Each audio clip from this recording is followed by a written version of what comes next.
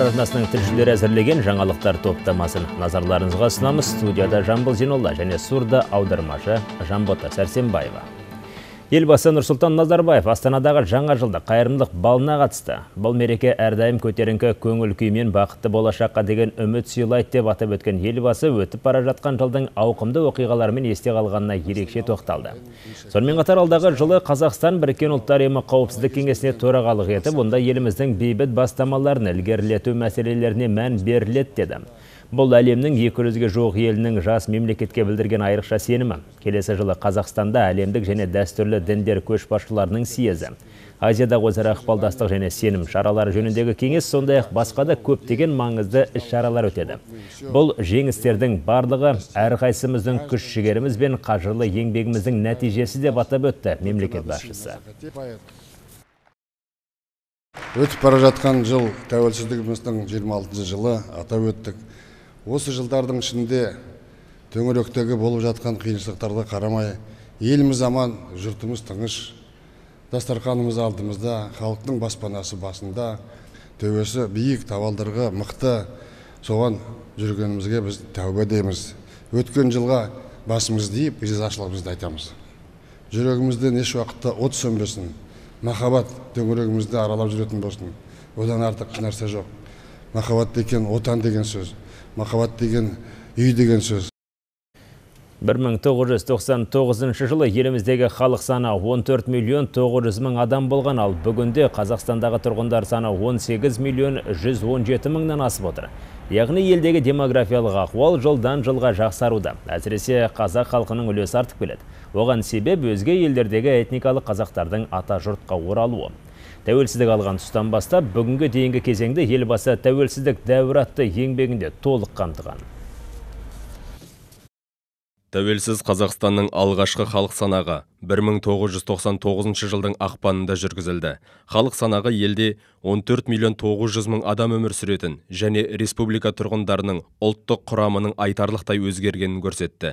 1989 жылғы кеңес кезіндегі соғыс санақ нәтижелермен салыстырғанда қазақтардың саны 1,5 миллионға дерлік артып 7 миллион 985 мың адамға жетті. Бұған қазақ тұрғындарының табиғи өсімі, қазақ еместердің басқа елдерге көшуі, сонымен қатар Ресей, Өзбекстан, Түркменстан, Моңғолия және өзге елдердегі қандастарымыздың отанына оралуы себеп болды.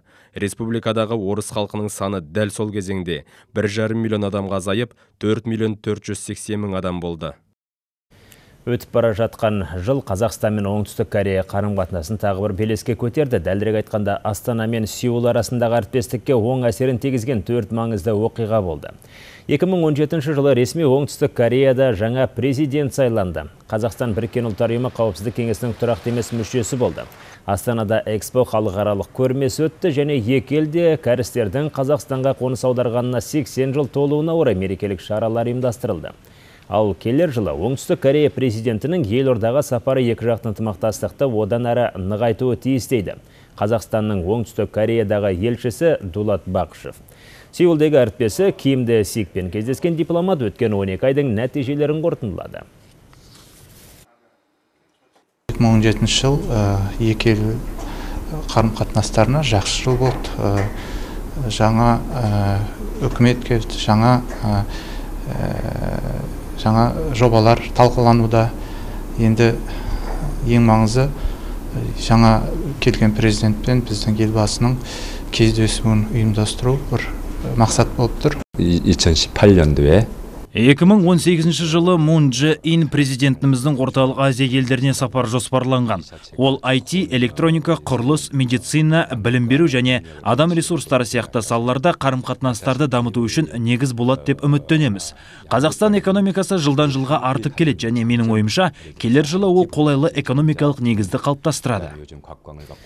Италия президенті Серджо Матарелло ел парламентін мерзімінің аяқталуына байланысты таратып жіберді. Бірақ негізі қос палатаның жұмыс істеу мерзімі ресми түрде келесі жылдың наурыз айына дейін жалғасу керек болатын. Шешім мемлекет бюджеті туралы заңды бекітуге байланысты қабылданып отыр. Осыған қатысты ел президенті Конституцияға сәйкес өкімет басшысы Пауло Джентилони және палата спикерлерімен кездесіп олардың қолдауына ие болды. Ал жаңа парламентті сайлау келесі жылы наурыздың төртінде өтуі мүмкін. Ол уақытқа дейін қазіргі үкімет басшысы Паоло Джентилони өз міндетін атқара береді.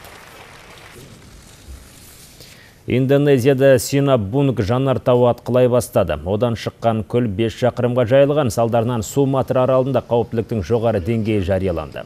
Осыған орай жергілікті билік 3 мыңнан астам адамды шұғыл түрде эвакуациялаған. Ауадағы зиянды заттардың мөлшері де асып кеткен. Сондықтан билік тұрғындар мен туристерді сақ болуға шақырып отыр. Негізі осы жанартау орналасқан Суматра аралы саяхатшылар арасында танымал орындардың бірі саналады.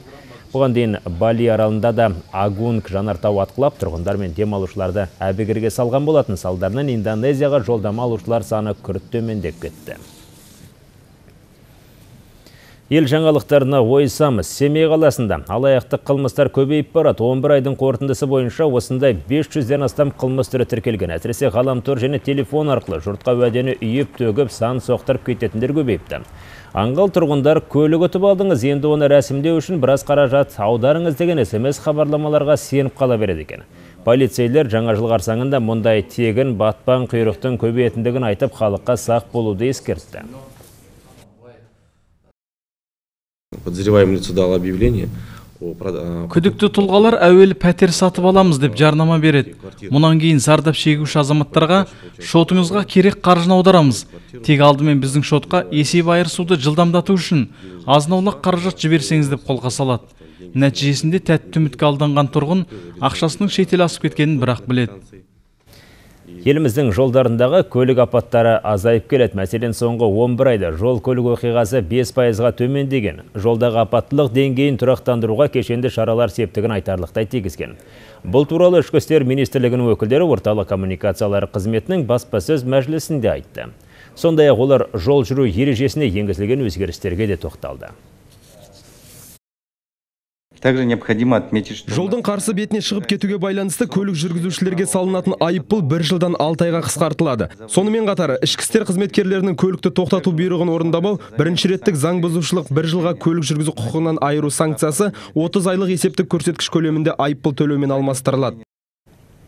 Бірер күнде әрдайым жақсылықтың нышанына баланған осы ит жылы кіреді. Өзі алғыр әрі адал дос, сонымен қатар сенімді қорғаушымыз жеті қазынаның бірі болған итке қатысты берер сипаттама көп. Сол қасиеттер үшін де болар жыл санауда оғанда орын берілген. Саятшылық үшін ит асырайтындар ел ішінде әлі де кездеседі, әділ сондай жанның бірі. Қаршадайынан тазып аптап алғыр жануардың жайын біліп өскен. Түрлі деңгейдегі арнайы сайыстарға қатысып бір талай жүлделі орындарға ие болған оның итке қатысты айтары бар. сатып алғысы да келіп жатыр алдарыңда отырған қазағымның тазысы өте жүйрік шапшаң епті жүгірген аң құтылмайды осы қазағымның тазысынан. Күшік кезінен өзім баптап келем маған өте сенімді мен үшін отқа да суға да түсуге дайын өз жүрегімен сезем. Нью-Йоркте дәстүрлі жаңа жылдық шарды орнату жұмыстары аяқталды. Құрылымның салмағы 5 тонна, ол 2,5 мыңнан аса шағын шыны бөлшектен тұрады. Негізі шардың сыртын безендіру үлгісі жыл сайын өзгеріп отырады. 31 желтоқсанда жергілікті уақытпен 20-59-да оны төменге түсіре бастайды. Сағат тілі 12-ні соққанда құрылым 23 метр биіктіктен ең төменгі нүктеге жетеді. Бұл жаңа жылдың келгенін білдіреді.